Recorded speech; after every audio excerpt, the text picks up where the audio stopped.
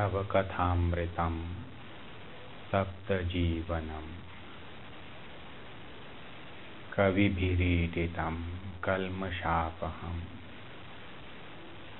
श्रवणमङ्गलं श्रीमदाततम् भुवि गृह्णन्ति ते भूरिदा जनाः। प्रभु, तुम्हारी लीला तुम्हारी कथा। अमृत स्वरूप है।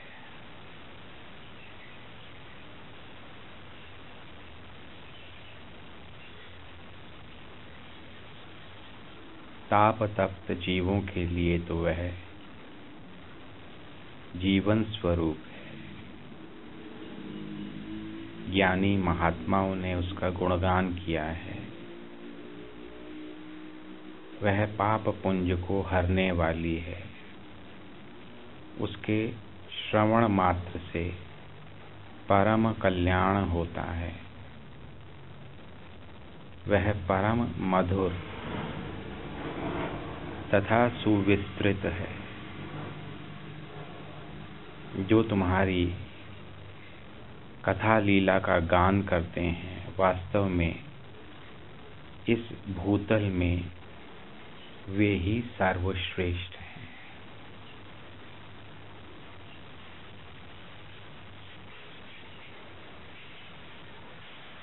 श्री रामकृष्ण वचनामृत सार, प्रथम परिचय 26 फरवरी अठारह बयासी।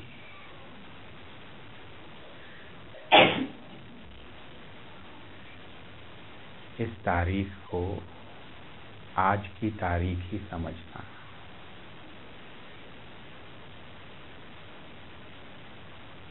जैसे आज ही हो रहा है।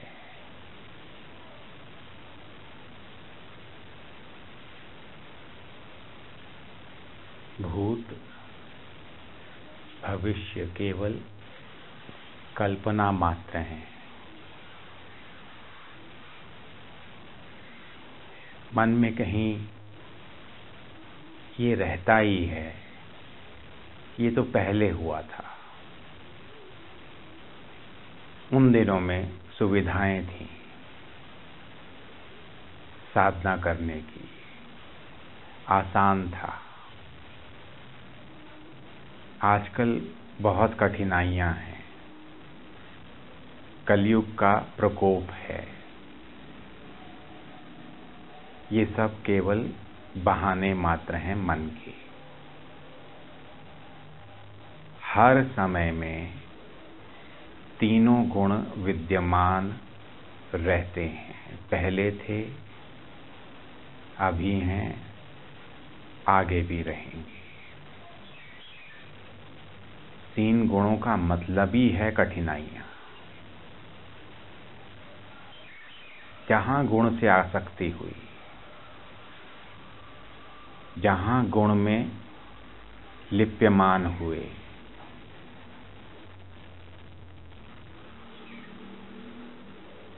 और गुणों के अनुसार जो आदतें हैं, जो आसक्तियाँ हैं, जो विषय हैं, जहाँ उनमें खोए तो दुख आया ही आया। सुख गया ही गया। हर समय, हर युग में तीनों गुण हैं। भगवान श्री कृष्ण के समय में कंस नहीं था क्या? दुर्योधन नहीं था क्या? भीष्म पितामह की बुद्धि सही काम कर रही थी क्या? द्रोणाचार्य की बुद्धि सही काम कर रही थी क्या? रामचंद्र जी के समय में शुरू से देख लो आखिर तक। इन पुस्तकों में राक्षस राक्षसी का नाम दे दिया जाता है।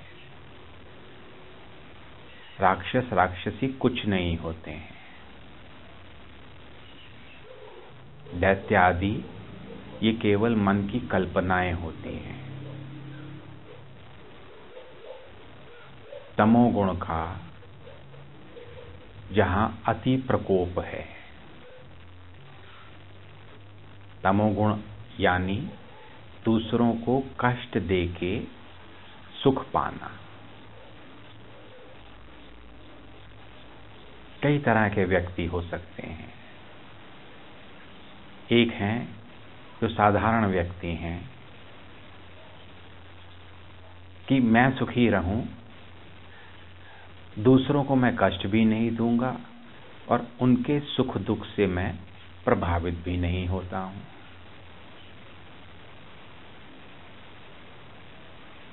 पर दूसरे मुझे दुख ना दें, इसका मैं प्रयत्न करता हूँ, और उनके कार्यकलापों से इसलिए मैं दुखी सुखी होता हूँ। ये एक साधारण राजसिक गुण की प्रवृत्ति है,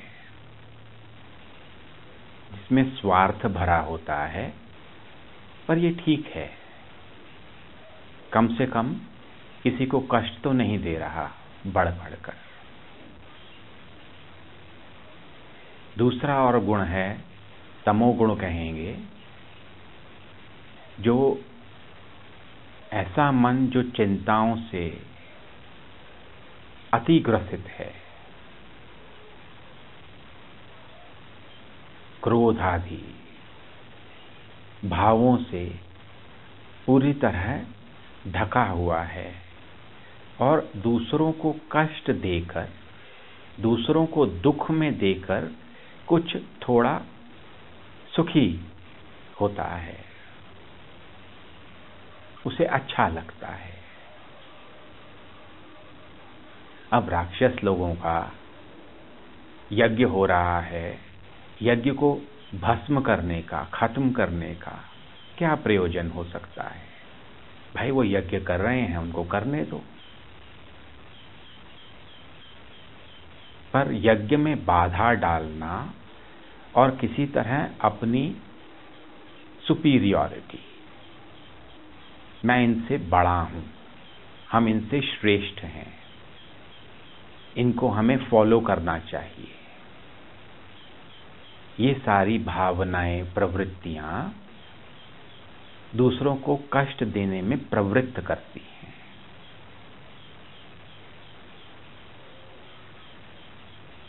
तो जो मन उस समय ऐसा था, राक्षस रूपी, वो आज भी मिलता है।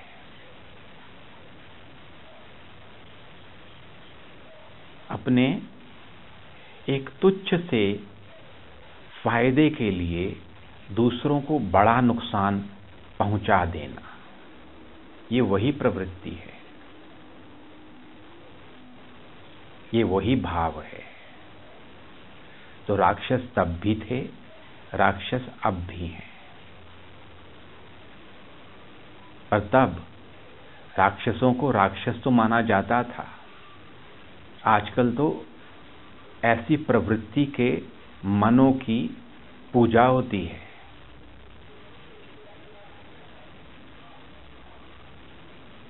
उनको बड़ा माना जाता है। और तीसरा भाव है कि मैं सुखी और तुमको भी मैं सुखी करना चाहता हूँ।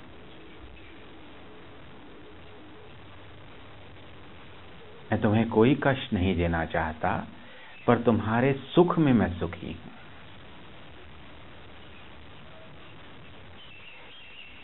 एक सौहार्द का भाव है, सात्विक गुण है। वापस कुछ नहीं चाहिए। देकर खुश हूँ मैं। पर अगर तुम दुखी होगे तो मैं भी दुखी हो जाता। हूँ तुम परेशान होगे तो मैं भी परेशान हो जाता। हूँ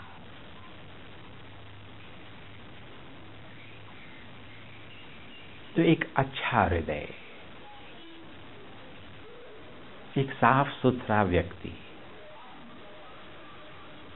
पर ऐसा मन ज़रूरी नहीं है कि शांत हो, सुखी हो।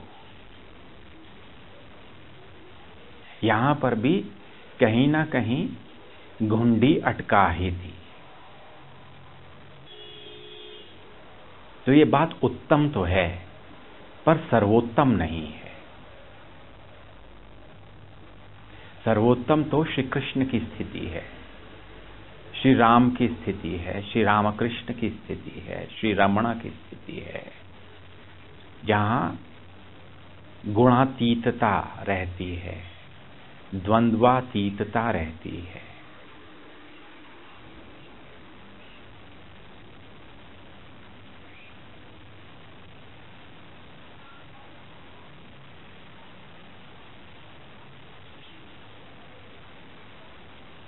मैं हमेशा परमात्मा में संलग्न, सदा पूर्ण, सुख दुख आशा अपेक्षा इच्छा तृष्णा धारणाएँ, मान्यताएँ, स्वप्न है, देना लेना पाप पुण्य दान करना, कंजूसी रखना सपने हैं। मैं शुद्ध चेतन प्रकाश हूँ। पर ब्रह्म परमात्मा का अभिन्न अंश हूँ। वो ही मुझमें विराजमान है, वो ही तुम में विराजमान है मैं एक स्थिर दीप हूँ, स्थिर लॉ हूँ। किसी के सुखी दुखी होने से ये लॉ हिलती नहीं है। ये दीपक कभी बुझता नहीं है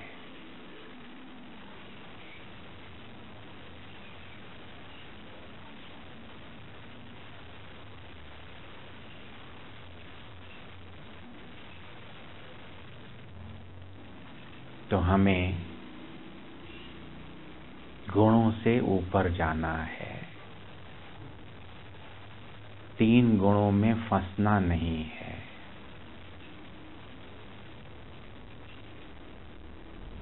न किसी को कष्ट देना है, न विषय भोग आदि से सुख की इच्छा रखनी है। न दूसरों के सुख दुख से सुखी दुखी होना है। तो चाहे दैत्य प्रवृत्ति हो, चाहे देव प्रवृत्ति हो, चाहे साधारण प्रवृत्ति हो या खराब प्रवृत्ति हो या थोड़ी बढ़िया प्रवृत्ति इन प्रवृत्तियों में हमें खोना नहीं है। हमें स्वरूप में खोना है। अपने स्वरूप का भोग करना है, स्वरूप में आनंद लेना है, सत्य में आनंद लेना है। तो इन तारीखों का जो इस पुस्तक में आएँगी, बहुत महत्व है। ये सचमुच में घटा है।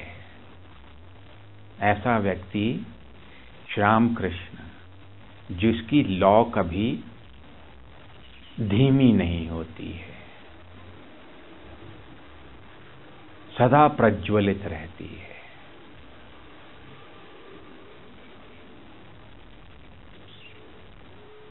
सदा परमात्मा के प्रेम में, समर्पण में, सत्य में अनासक्ति में जो खोए रहते हैं, जिससे जिनके मन में परमात्मा को छोड़कर और कुछ होता ही नहीं, ये तारीखें उनकी याद दिलाती हैं। जैसे ये सत्य में इस तारीख को 26 फरवरी अठारह सौ बयासी को घटा है। वैसे ही आज मेरे जीवन में घटे। आज ऐसा सोचें कि वो आज ही हो रहा है और हमारे सामने ही हो रहा है।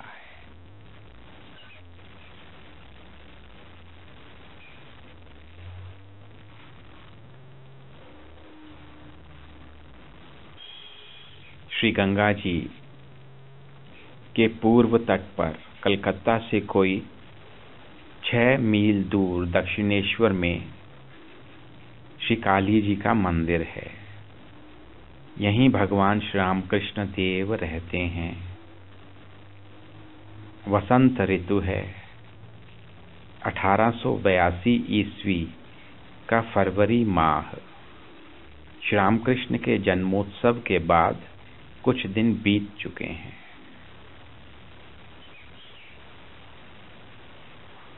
श्री गंगा जी का तट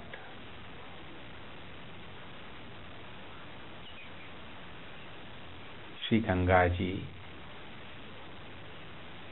पवित्रता स्वरूपणी है।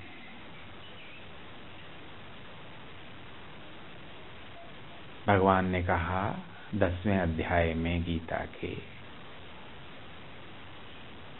में अपनी विभूतियों की बात करते हैं। तो गंगा। मैं गंगा हूँ।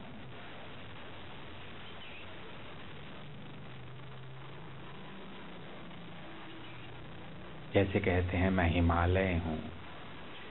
मैं अर्जुन हूँ, मैं कृष्ण हूँ। मैं मेरु पर्वत हूँ, मैं शंकर हूँ, मैं सूर्य हूँ, मैं चंद्र हूँ। मैं गंगा हूँ। भगवान खुद ही हुए हैं। श्री गंगा जी।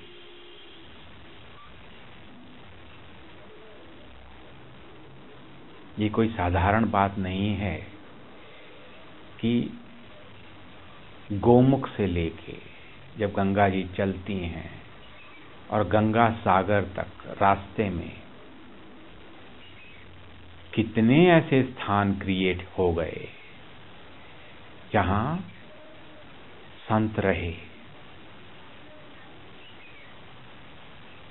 जहाँ की स्पिरिचुअल वाइब्रेशंस ऐसी हैं कि आपको ध्यान के लिए बहुत प्रयास नहीं करना पड़ता।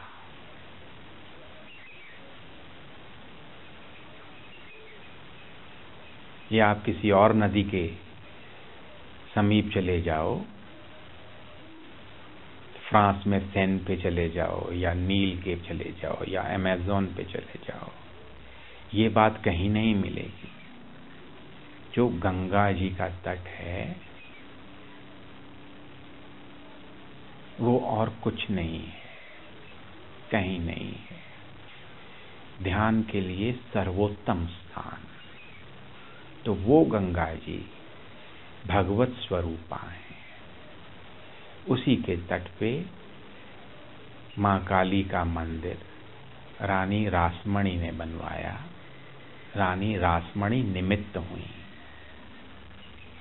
माँ ने खुद ही बनवाया, निमित्त बना दिया किसी को। वहाँ श्री राम कृष्ण रहते हैं। वो प्रांगण, वो कमरा, वो शिवजी के मंदिर वो श्री कृष्ण का मंदिर, वो माँ काली का मंदिर। हर जगह पर उनके चरण पड़े हैं।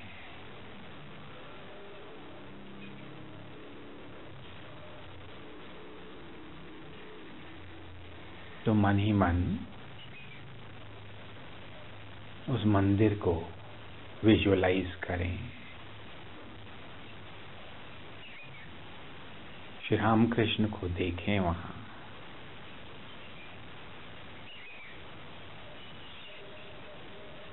उनको प्रणाम करें।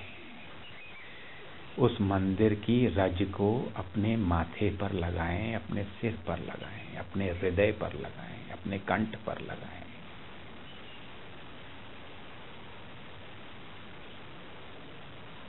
और माँ काली से, श्याम कृष्ण से प्रार्थना करें। कि हमें भी ऐसी ही भक्ति हो।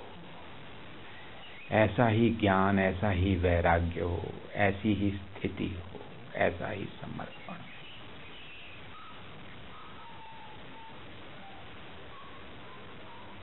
ओम श्री कृष्णार्पणमस्तु श्री रामकृष्णार्पणमस्तु हरि ओम तत्स